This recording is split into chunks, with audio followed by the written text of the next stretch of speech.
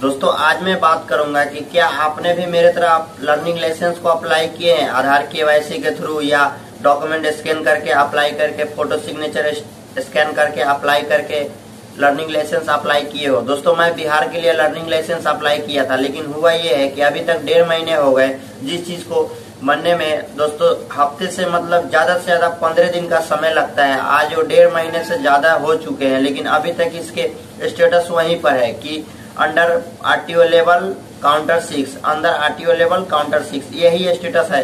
मैं डेली दिन भर में दो बार चेक करता हूँ दोस्तों, और आरटीओ वालों को फ़ोन करता हूँ तो आरटीओ वाले कोई फ़ोन नहीं उठाते हैं। और मुश्किल से इतफाक से एक फ़ोन भी आज लगा, आज मैं वीडियो शूट कर रहा हूँ, इससे दस मिनट पहले मैंने फ़ोन किया था, लेकिन एक बंदे ने फ़ोन तो रिसीव हुआ, लेकिन रिसीव होने के बाद क्या होता है कि जो मैं इधर कस्टमर केयर को कॉल कर रहा हूँ और कोई दूसरे पर्सन कस्टमर केयर को कॉल कर रहा है ये दोनों को साथ एक दूसरे से कॉन्फ्रेंस कर दिए है। मैंने पूछा कि सर आप ए, कौन हो? आप सर कस्टमर केयर से बोल रहे हो तो नहीं नहीं। उन्होंने कहा कि नहीं सर मैंने तो कस्टमर केयर में खुद कॉल किया है। मैं बोला सर आपके साथ भी वही हाल हो रहे हैं जो मेरे साथ हो रहे हैं।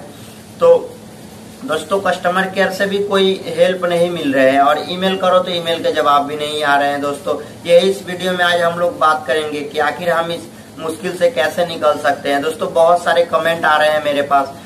मैंने एक वीडियो बनाया था कि आप अपने लर्निंग लाइसेंस को कैसे बना सकते हो घर बैठे। तो यही वीडियो में बहुत सारे कमेंट आ रहे हैं तो वही आज इस वीडियो में बात करूँगा कि इस परेशानी से कैसे हम लोग निकल सकते हैं। दोस्तों, फ़िलहाल हमारे पास बेसिक कुछ तो आइडिया है नहीं, और कुछ हम कर नहीं सकते, क्योंकि अभी जो मौसम ऐसे चल रहे हैं, जो बीमारी के मौसम चल रहे हैं, जैसे कि लॉकडाउन कोरोना आप देख रहे हो, ये सारे कुछ इसी में है। तो इसके वजह से शायद हम मान सकते हैं एग्ज़ाम्पल के तौर पर कि इसकी वजह से हमारे जो लर्निंग लाइसेंस है वो अटके हुए अभी तक बने नहीं है। मैंने दोस्तों कोई डेमो नहीं दिखाया है अपने वीडियो में। जो अगर आपने नहीं देखा है तो आई बटन पर लिंक मिल जाएगा, आप वहाँ से जाकर देख सकते हो। मैंने कोई डेमो नहीं दिखाया। मैंने अपने खुद के लिए अप्लाई किया था लर्निंग लाइसेंस ताकि मेरे लर्निंग लाइसेंस नहीं है तो आ जाए। तो दोस्तों, मेरे खुद के जब नहीं हुए तो मैं दूसरों को क्या कहूँ? मैं भी उनके सबके तरह मैं भी हूँ, मैं भी उनको कह सकता हूँ कि देखिए दोस्तों, मैं तो इंतज़ार कर रहा हूँ, आप भी इंतज़ार कर लो। शायद हो सके कि कुछ टाइम बाद जब हालात सही हो लॉकडाउन खत्म हो तो हमारी ये लाइसेंस वापस आ जाए। यही इस वीडियो में मैं सोचा कि अपने दोस्तों को बता दूँ, ताकि बहुत सारे लोग मुझे कमेंट कर रहे थे।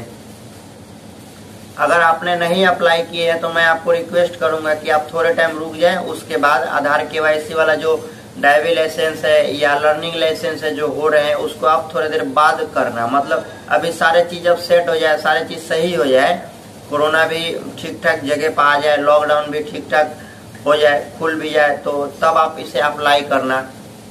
शायद उस टाइम में हो सकता है कि इतने समय ना लगे और जल्दी आपके काम हो जाए। तो दोस्तों, हमारी वीडियो आपको कैसे लगी कमेंट करके ज़रूर बताना। अच्छी लगी हो तो लाइक कर देना। अपने दोस्तों के साथ शेयर करना, जो लर्निंग लाइसेंस से परेशान है ड्राइविंग लाइसेंस से रिलेटेड परेशानी में है, ताकि मैंने अप्लाई किया, पैसे भी दिया और हमारे मतलब हमारा लर्निंग लाइसेंस ड्राइविंग लाइसेंस अभी तक नहीं है। स्टेटस भी वही वही बता रहा है। जो पहले दिन स्टेटस बताया था, आज भी वही बता रहा है। दोस्तों, मैं खुद परेशान हूँ।